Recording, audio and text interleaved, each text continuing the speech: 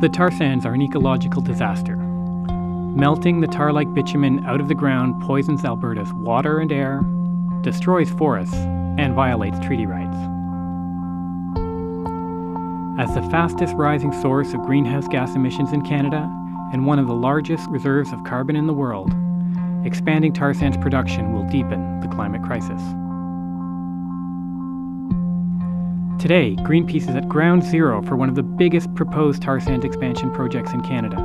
The Harper government is supporting Kinder Morgan's plan to build a new pipeline that would transport raw bitumen from the tar sands to this terminal to be loaded onto supertankers. We are here to defend nature, the climate, and our communities against the destructive impact of tar sands expansion.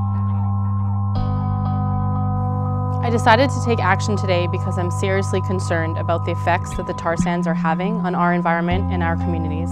We won't just stand by and let Stephen Harper push through these tar sands pipelines and tankers.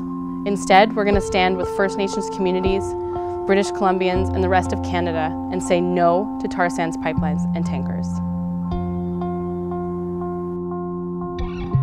Join us and defend the coast against the threats posed by tar sands tankers and pipelines.